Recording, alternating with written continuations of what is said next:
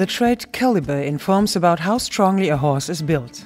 Here we can see the Oldenburg standard horse, which represents the average appearance. If the trait value deviates from the norm shown here, this is noted in the linear description. The caliber of the horse is then either small or large framed. The caliber describes the substance of a horse. It is most evident in the strength of the fundament and the depth of the chest. The description of the caliber informs whether the horse is small or large framed.